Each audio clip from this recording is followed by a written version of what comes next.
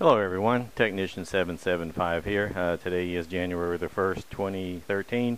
Happy New Year's to everyone. Uh, we're going to be doing coffee in this segment here. Uh, one of my favorites is yeah, the Mello Joy, Melojoy coffee. It's out of uh, Lafayette. It's an old brand that's been around for a while, uh, since 1936. Community's been around for a while, you know, and several have been around for a while. This is probably one of my favorites here. What we're going to do, make this real short and simple. one of the things we are going to want uh, is some comfort of some sort uh, if we do have emergency, plus the necessities. Uh, my uh, lovely stepdaughter gave me a plaque that says uh, coffee is not a drug, it's a vitamin, and I kind of believe that. Um, and I do like my coffee. So what we're going to do here, these are uh, 12 ounce packages, and one pound packages will work just, just fine. If you notice, these have the little button right there, which actually let oxygen out or whatever, the uh, smell out. If you ever want a, a coffee rush, go down to uh, the store and grab the package like this. Put your nose right up against this and just gently squeeze. And you will smell the uh, the fresh ground coffee uh, aroma coming out of the uh, little hole right there. Pretty neat. Okay, that's just a little something for me. All right, what we're going to do here, I've got a two gallon uh, uh, plastic bucket, okay, and three of these will fit in just like this, okay, and I've kind of folded the tops back just a little bit. One will go in upside down for the most part, okay, because the way it's stacked and one will go in on top just like that. Okay, and I'm going to take and put, oh, probably four oxygen absorbers in here.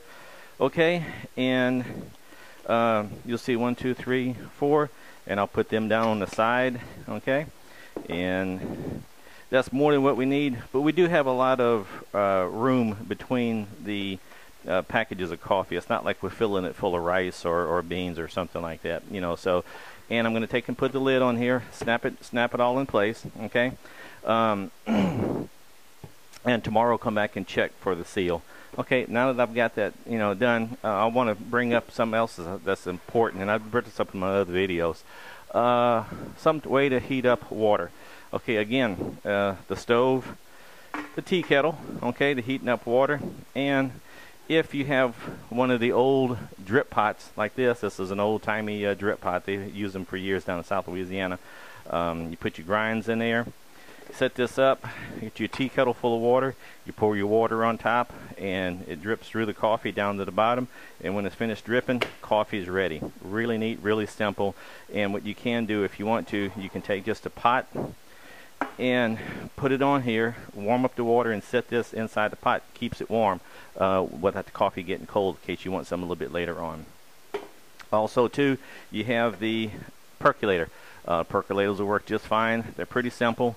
Uh, you put your uh, coffee, uh, your water in there, your coffee grinds, put this on top, put this right here, turn the water on. When it finishes percolating, you've got coffee. Again, you can put in a pot right here with some water in it, warm the water up and set this in there. It keeps your coffee warm for a while.